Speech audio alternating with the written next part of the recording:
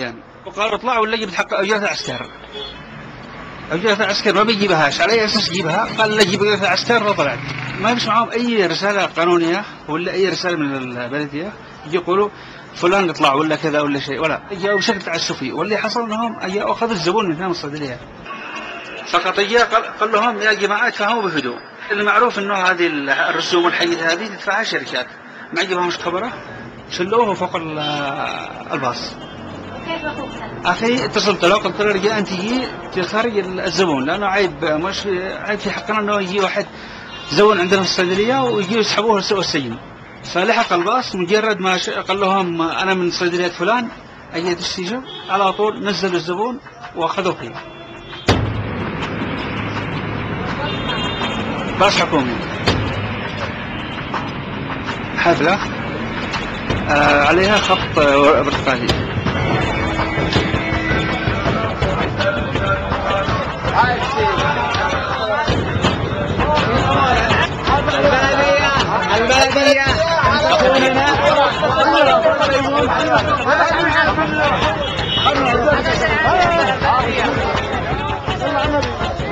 هذا في مخ ولا ما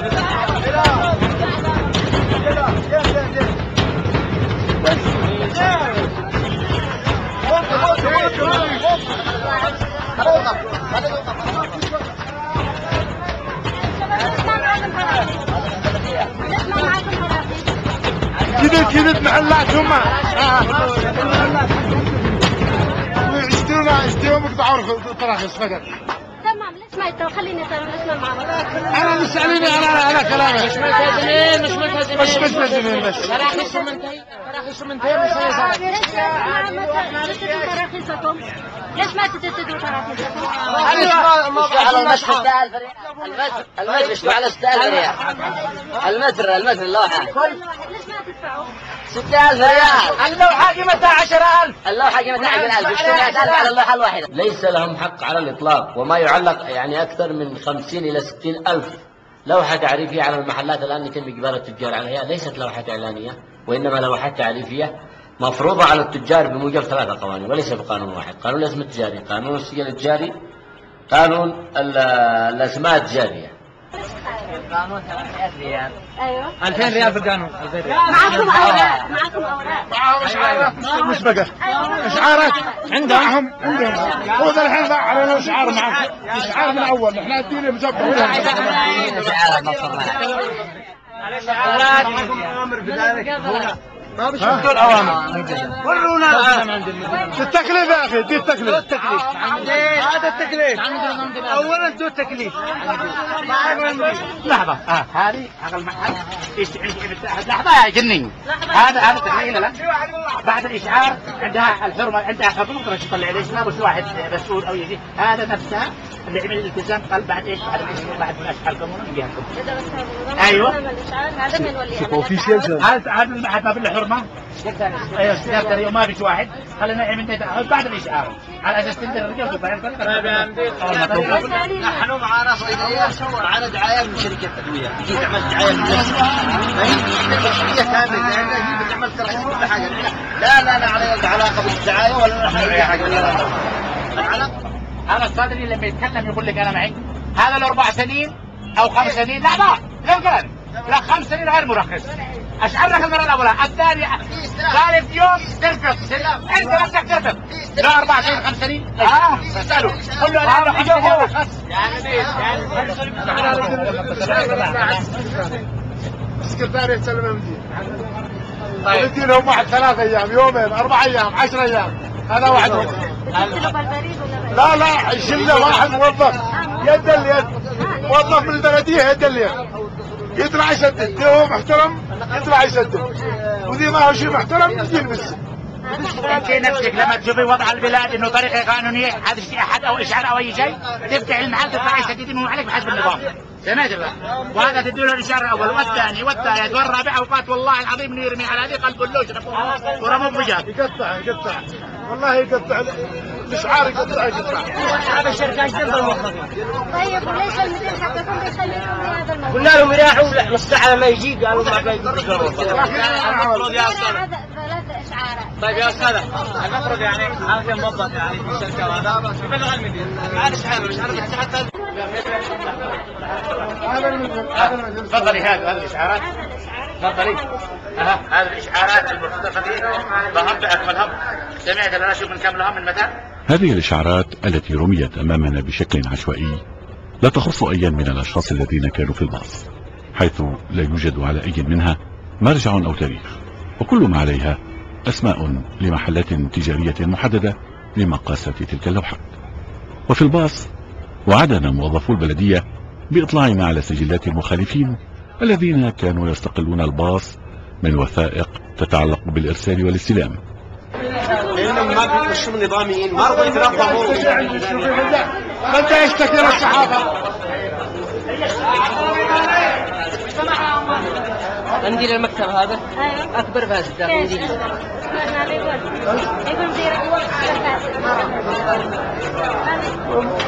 هذا أول شيء موظف معه قسما بالله أنا موظف. أقسم من نفسي بيده أنا موظف.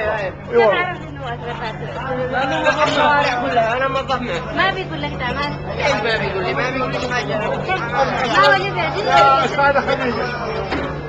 فإذا بنا ندخل من مكتب إلى آخر للبحث عن مكتب للسجلات لكن من الواضح أن أحدا لا يعرف إذا كان لهذا المكتب من وجود فعلي فتوهونا وتهنا في دهاليز هذه المؤسسة التي تضج بمواطنين يشتكون حالهم.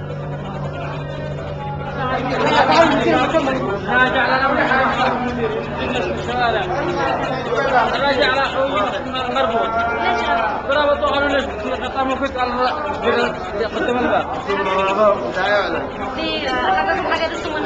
هذه اشعارات يا أستاذ اشعارات إيش؟ اشعارات أي- يعني الرخص حكم دستوري بعدم دافع اي مبلغ للرخص كل الرخص يمني مدير الداري الذي حكم دستوري إيه. للمحكمة العليا إيه بعدم سير الدين الحكم يا دين الحكم يا أخي أنا انت؟ وريك وري المدير مش وريك انت بس منصف هكذا طبعا المفروض ما يحولوا النيابه صح تسوي الحبس المخالف الذي يشعر ثلاث مرات. دي ورقة من إحنا نخليها دي ما ورقة. تدخلش ولا قلت لك تدخل ولا طلبت هنا. ها. لما تقول ادخلي على كيف ما قلت تدخلي ها ما ها قلت في إنه حبس. ما قلت تدخلي في عندكم حبس أنا ما المنطقة أنا مواطن مواطن صالح ها مشكلتنا الحبس الغير قانوني الاكثر أكثر أكثر من آه، 48 ساعه لا صور لحظات لا أنا كلام ما دخل ما صور هذا الصحافه يا أخي ما لك بكسر لك الكاميرا لا يريد أن يطلع الرأي العام على على ما يجري في هذه في هذه المواطن. آه، هنالك آه، التعامل عشوائي مع حرية المواطن مع كرامته. أنا أراهن أن أي أجنبي لو دخل يستثمر وتعرض لمثل هذا الموقف أن يستمر يوما واحد في اليمن. شام اي شغله 3000 ريال حق أي شغله 3000 حق لوحه ما لوحه إيش دخل إحنا بالموضوع هذا؟ أي واحد بالشارع يسحبوا على طول. كأن إحنا مش موجودين بالبلاد هذه.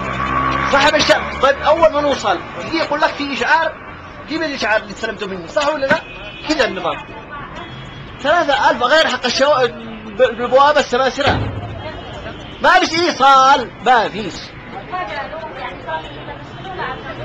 برجعوا مرة ثانية. عملتهم التزام إن أنا بطلع مرة ثانية. على إيش أنا مانيش عارف على أساس إنه إيش بطلع أشوف إيش موضوع اللوحة هذا.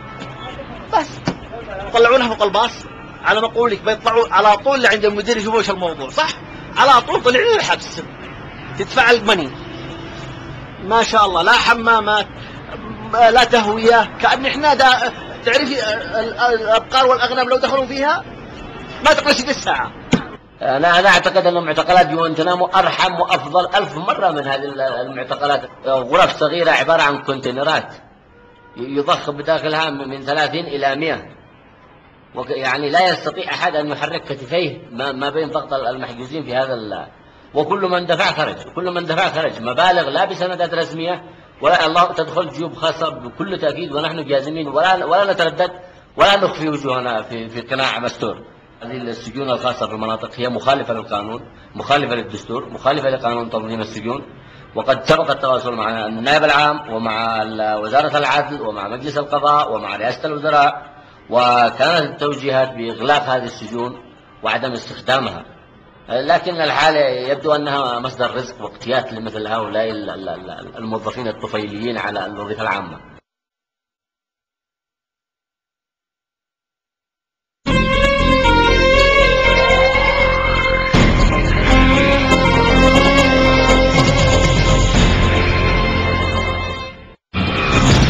الحكومة المركزية تسحب الجنسية من 160 عائلة بعد أن اعتبرتهم سوريين. لم تقم الحكومة العراقية بإلغاء الجنسية عن الذين ألغوا جنسيتهم الأخرى.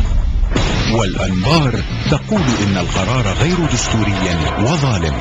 من العراق الجمعة السابعة والنصف على شاشة العربية العربية.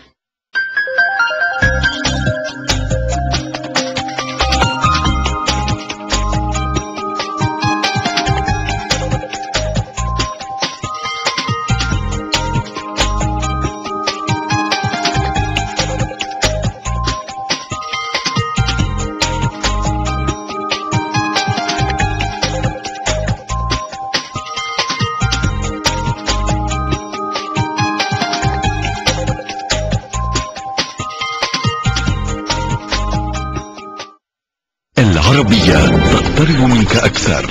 الآن بإمكانك أن تتواصل مع الحدث وتتفاعل لتصنع الخبر أينما كنت. فيسبوك العربية دوت نيوز.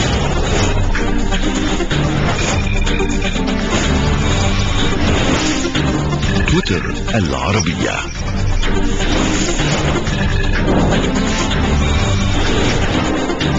يوتيوب العربية.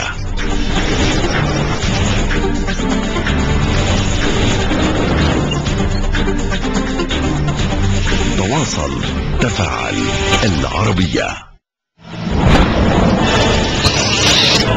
طارق انت اديت عينك للثوره ومستعد ادي الثانية تاني جمعة الغضب اليوم الذي شهد أكثر من 77% من الإصابات بالرصاص الحي.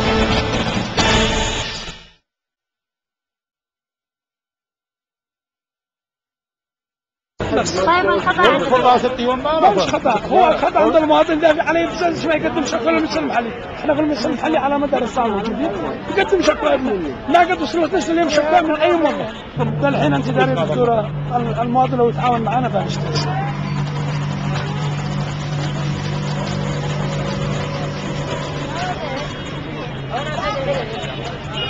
أول حاجة ويجب أن تعرفوها أنه الفساد يسبب الفقر. لا تصدقوا من يقول العكس أن سبب الفساد هو الفقر. أبدا. لأنه بدون وجود فساد المجتمع يعمل طموحه يكبر الاجتهاد يكون أكبر. لأن الفساد يكبح يقلل من الطموح بالذات في الأطفال والشباب.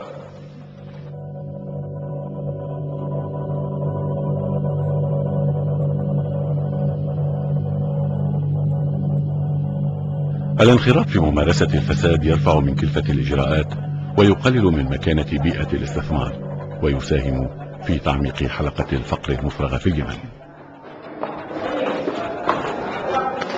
نرافق اليوم حسن إلى المحكمة. ولد حسن مشكلة أرض اعتدى عليها أحد الأشخاص وصدر الحكم لصالحه قبل عشرين سنة مع إحالة المعتدي إلى النيابة كونه اعتدى على ملك الغير. لكن المعتدي يقوم في كل مرة يستدعى فيها لتنفيذ الحكم بدفع مبلغ من المال لإيقاف عملية التنفيذ. ويأتي حسن بدوره ويدفع هو الآخر مبلغا من المال كأتعاب لرجال الأمن من أجل إحضار غريمه ولإجباره على تنفيذ الحكم. وهكذا خسر حسن خلال تلك السنوات مبالغ باهظة ومعها خسر إمكانية استرجاع حقه يوما ما.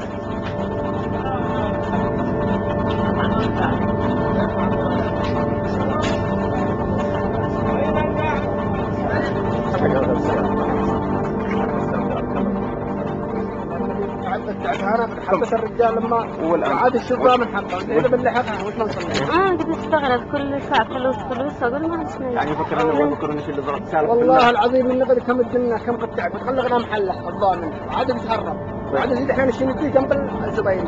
عشان كم؟ ولا دخل اكرم داخل الحال بينزل ما هو العمل؟ ما يصير أنا هنا أعطيهم المواصلات حقهم أعطيهم حقهم اللي المهم انه يشوفوا كم حقهم؟ كم؟ كم ريال داري أحسن ما عندي منها لراسه ما أنا لا يعني أنا حسن اللي في أنا أنا احترمك انت أحترم يعني بيني وبينك صح. بس تنجزونا ما نجزنا إحنا إحنا بلاحة قسم بالله. على مسك- إحنا ندخلها ونخرجوا المحكمة كل ما دخلنا خرجتها. بعد مرور سنتين على التصوير الأول مع حسن نلتقي به ونسأله عما استجد في قضية. هي الآن القضية لها 20 سنة من يوم صدرت الأحكام. يعني اطرح بين يديك هذا المذكرة. كم يعني مراسلات؟ يعني من وزير الداخلية إلى يعني مدير أمن الأمانة إلى مدير المنطقة إلى يعني ما يخرج أي أي قوة إلا يعني يأخذ أقل حاجة يعني مبالغ مبلغ وقدره. لازم تدفع. طيب أدفع مش مشكلة. أدفع وأنا أنهي قضية مش مشكلة. لكن المشكلة أن تدفع وبعدين تعيد يعني بنفس الصيغة. الآن أنا يعني هذه المذكرات مكررة بنفس بنفس الصيغة. تشوفين تلاحظين بنفس الصيغة.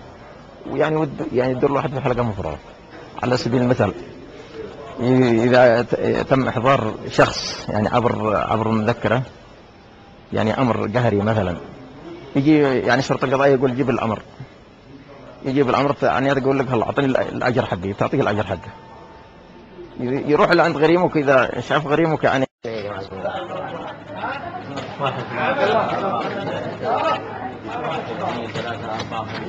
الدي في دي بعض الاخلالات الموجودة واللي بتسبب في ازدياد الجرائم وغيرها. أقول لكم ونؤكد لكم أيضا بأن مثل هذه الإخلالات بتضر بالاقتصاد الوطني. الشخص عندما يمس في البيانات يبيع وطنه. لماذا لا يتم تفعيل بصمة العين في المطارات وفي المنافذ البرية والبحرية للحد من دخول وخروج المطلوبين أمنيا إلى الجمهورية اليمنية؟ قد يكون أحيانا إنه مسألة الدخل ومسألة المرتب اللي بيتقاضاه الجندي أو الفرد اللي في هذا المكان يعني لا يكفي بهذا وبالتالي قد إنه هذا إيش؟ يخليه يتطاول إنه ياخذ له مبلغ زايد ناقص من هنا أو من هناك. لكن هذا امام وقوع كارثة أو جريمة لا يبرر هذا اطلاقا. ما يتعلق بالإجراءات الأول الخلالة إحنا لاحظناها هنا ما يتعلق بالوسيط الذي هو الرئيس المباشر الذي فوقه. كيف سهل الإجراءات لهذا برغم إني في نوع من الخلل فيها؟ وكيف كان ترصيد الإجراءات عنده؟ اذا هو أص- أصلا ضروري إنه يحاسب أيضا. طبعا نحن سعداء لما ظهر في هذا الشريط الخفي والذي نع- نع- نعتبره عين ساهرة والعيوب هي موجودة في كثير من المؤسسات. ولكن أمامنا مهام كبيرة من المسؤول الأول إلى المسؤولين الأدنى منه في أي مؤسسة. كيف نقضي على هذه الظاهرة؟ هو تطبيق مبدأ الثواب والعقاب طبعا هو مهم جدا ومهمة كبيرة. الإقدام عليها يحتاج إلى جسارة ويحتاج إلى جرأة. رغم ما يتمتع به اليمن من موقع استراتيجي هام بمدخله الجنوبي للبحر الأحمر والذي يعتبر أهم ممر ملاحي في المنطقة. ناهيك عن كونه بلدا غنيا بتراثه وتاريخه الحضاري وتنوع تضاريسه الخلابة ما يؤهله لأن يكون من البلدان الأكثر جذبا للسياحة المتنوعة. إلى جانب ذلك فهو غني بموارده الطبيعية مثل الغاز والمعادن والثروة السمكية وتوفر الأيدي العاملة ما يجعل منه بلدا منتجا وناجحا. رغم كل تلك الإمكانيات إلا أنه يعتبر من البلدان الأكثر فقرا والتحديات الآن تكاد لا تدع مجالا للشك في اقترابه من الفشل إذا لم تواجه الدولة التحديات بجدية وشجاعة من أجل أن تضمن نموه وازدهاره وأن تقوم بعدة خطوات أولها محاربة الفساد الذي ينخر بمختلف مسمياته ومستوياته في جسم المجتمع اليمني ويفتك بمقدراته ويهدد تطوره.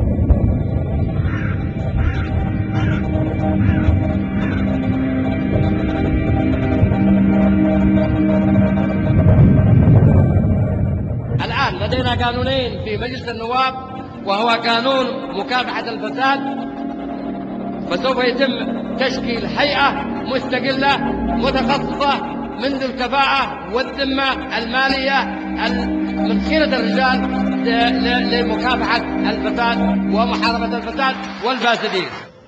عندما يصبح الفساد مشكلة كبيرة وتعجز الهيئات والسلطات المختلفة في الدولة على ضبط أو تحجيم هذا الفساد. تضطر الدولة إلى أن تنشئ هيئة متخصصة في مكافحة الفساد. أنشئت الهيئة في يوليو من السنة الماضية 2007 آه، بناء على انتخابات حرة ومباشرة آه، عبر مجلسي الشورى والنواب وأيضا انتخاب تم داخل الهيئة لانتخاب رئيس ونائب لرئيس الهيئة. آه، منذ إنشاء الهيئة بدأت العمل في مسارين متوازيين المسار الأول وهو البناء الهيكلي والتنظيمي للهيئة والمسار الآخر وهو تفعيل قانون مكافحة الفساد الذي أنشأت على إثره الهيئة. أهلا وسهلا فيك الدكتورة سعد الدين أبو طالب رئيس قطاع التعاون الدولي عضو الهيئة العليا لمكافحة الفساد. هيئة الرئاسة هيئة رئاسة المجلس أخوة وأخوات الأعضاء. آه، أولا أحب أعبر عن سعادتي بأن أتكلم مع برلمان الأطفال. أول بتكلم شوية عن هيئة مكافحة الفساد وثم ممكن أتلقى منكم أسئلة عن عمل الهيئة في كل دول العالم أو دول العالم الناجحة في مكافحة الفساد في الاستراتيجية تعتمد على ثلاث محاور. المحور الأول هو الوقاية والوقاية من الفساد. بمعنى أنه إذا في إمكانية حدوث فساد لابد من وضع أنظمة تمنع حدوث الفساد. تمام؟ يعني أحد هذه الأنظمة أن يكون كل التصرفات والتعاملات تكون شفافة. شفافة يعني معلومة لكل الناس. المحور الثاني هي ما يسمى الملاحقة. بمعنى أنه إذا رأينا فساد يجب أن يضبط ويجب أن يعاقب الفاسد. هذا هو المحور الثاني. ما هي الطرق التي نستطيع من خلالها مكافحة الوساطة؟ وما هي أضرارها في المجتمع؟ المحور الثالث هو التثقيف أو التعليم. بمعنى أن يعرف المواطنين جميعا ما هي أشكال الفساد ويجب أن يكون عندهم الدراية بأن هذا فساد. مثلا كثير من الناس لا يعلمون في حقيقة لا يعلمون أن الوساطة هي فساد. لكن كثير من الناس كل جميع الناس يبحثون عن وساطة أما التوظيف أو لدخول المدرسة أو لعمل أي شيء فالوساطة فساد. فيجب أن نثقف المجتمع ونقول لهم يا مجتمع الوساطة فساد. حتى يعني أعرف إيش أساس المصطلح؟ إنه مكافحة الفساد أو مكافأة الفساد. لأنه في فرق كبير بين المصطلحين. لأنه إلى الآن والمفسدين متربعين حاطين رجل على رجل جالسين فوق كراسيهم. إذا تم تغيير وزير أو محافظ أو أي مسؤول يتم تغييره من وزارة إلى وزارة. كأنكم تغيروا البوري وهي ذيك المداعة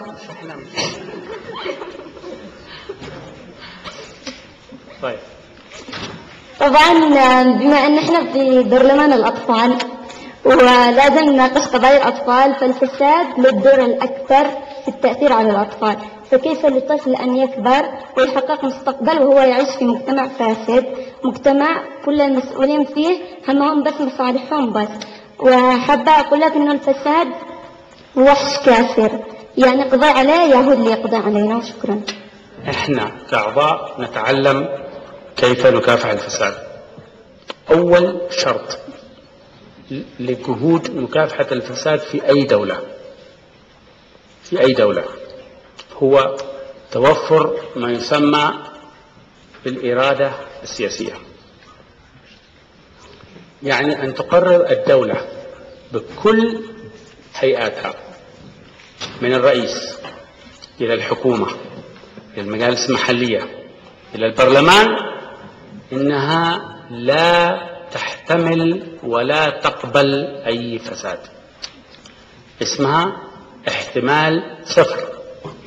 اللي يعمل واسطة المدرس الذي لا. اللي يحضر عندما يكتشف يعاقب فورا عندما يكتشف وزير يقوم بخطأ يعاقب فورا وينزاح من مكانه المجلس مجلس النواب يجب أن يلتزم بكل القوانين والدساتير ولا يشرع لنفسه ونحن نرى مثل ما قلت في البداية أنه أخطر ما يصيب المجتمع من الفساد يعني كنتيجة من الفساد هو أن يصيب مواطنيها حالة ذهنية يعتقدوا فيه أن الفساد أمر حتمي يعني الفساد موجود وليس هناك قدرة على مكافحته. هذا أخطر حاجة ممكن تصيب المجتمع وبالذات في الأطفال.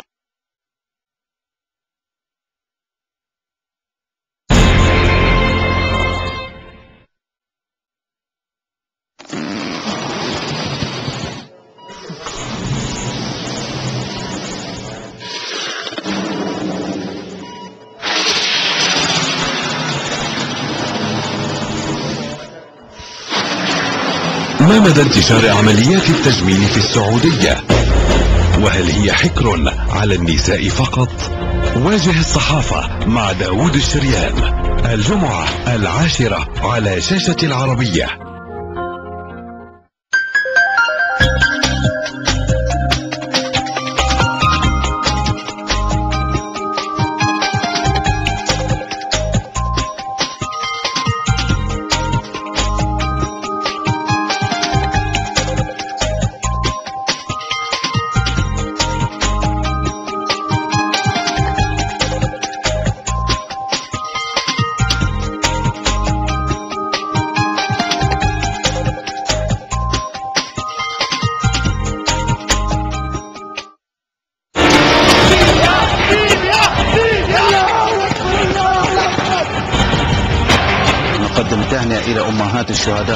الشهداء وإلى أخوتنا الجرحى المصابين. وما هي التطورات حتى هذه اللحظة في طرابلس. كان النهاية وأنشأت نهاية بإذن الله. بعد نجاح الثورة بعد آه، ما تهدأ الأمور كيف يتم التعامل مع آه، هؤلاء المرتزقة؟ مبسوطين مبسوطين مبسوطين مسلمين الحرية الحمد لله. هلا نزال أمام معركة طويلة ممكن تكون في طرابلس؟ أي يمكن أن يكون قد الله اكبر ليبيا دينا حره ليبيا فيها رجالة.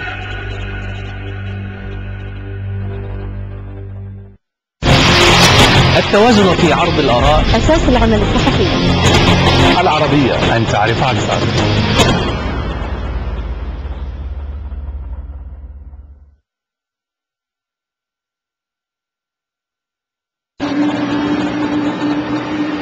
من بعض نماذج الفساد الكبير والتي استطعنا أن نحصل على وثائق عما تردد بشأنها في الصحف قضية الديزل حيث تبين أن مؤسسة نفطية من القطاع الخاص تتعهد بتزويد محطة كهرباء حزيز في العاصمة صنعاء بكمية من مادة ديزل. تقوم هذه المؤسسة باستلام كميات محددة من شركة النفط الحكومية وتقوم بنقلها بقاطراتها إلى المحطة. يقوم المتعهد بتسليم كميات المازوت بموجب عدادات خاصة به حتى تزيد عن الكميات المسلمة لها من شركة النفط وبنفس القاطرات الناقلة للمازوت والتي تكون مختومة بختم خاص بشركة النفط الحكومية.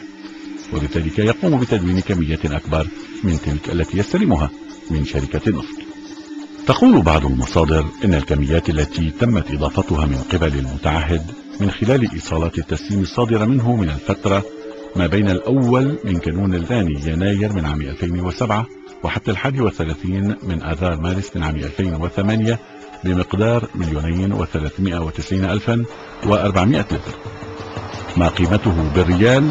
ثلاثة وثمانون مليون وستمائة وأربعة وستون ألف ريال. بحسب سعر اللتر المعتمد للمتعهد أي أن الكمية الوهمية المضافة خلال سنة وثلاثة أشهر كانت بمقدار مليونين وثلاثمائة وتسعين ألفا وأربعمائة لتر ما أراه حوالي هذه القضية هي تقريبا أكبر قضية تعاملت معها الهيئة الآن.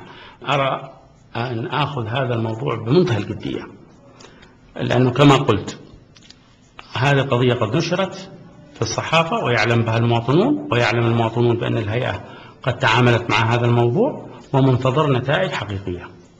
إذا لم يحصل عليها المواطن بإقناع ستكون الهيئة قد فقدت مصداقيتها بالكامل. بخصوص هذه القضية التقى أعضاء هيئة مكافحة الفساد برئيس الوزراء الذي وجه أمرا بإيقاف التعامل مع هذا المورد لمحطة حزيز. ولكن القضية لم تنتهي بعد فاليمن مليء بقضايا فساد كبيرة أخرى يستفيد منها مسؤولون كبار في الدولة ورجال أعمال فاسدون. لأن استمرار الفساد الكبير يشكك في شرعية ومصداقية الدولة ويحد من ثقة المواطنين بمؤسستها كما يقدم المثل السيء لصغار الموظفين والمواطنين ويضع الأساس لثقافة تتقبل الفساد والرشوة والابتزاز.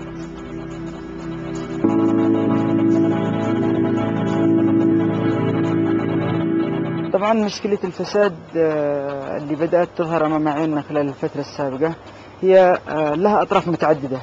آه، البعض يقول لها طرفين بينما أنا أرى أن كل مكونات المجتمع بتلعب دور. القطاع الخاص الحكومة مؤسسات المجتمع المدني. طبعا الفساد بيأثر على التكلفة فيؤدي إلى ارتفاعها.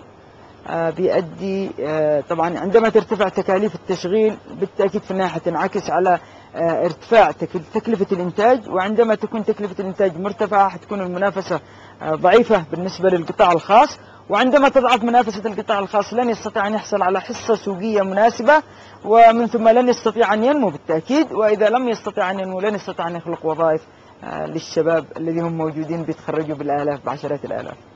أنا أرى أن هناك شراكة تضامنية وشراكة مطلقة بين القطاع الخاص والحكومة للقضاء على ممارسات آه، الفساد.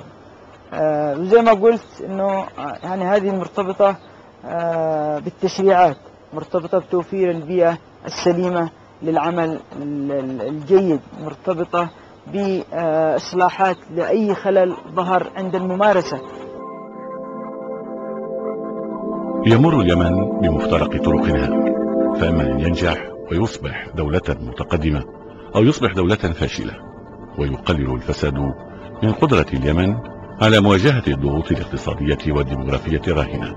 لذلك يجب على هذا البلد أن يحارب الفساد إذا ما أراد النجاح في مواجهة هذه التحديات مثل الحد من تنامي الفقر وإيجاد مواطن عمل جديدة وتحسين ظروف معيشة المواطنين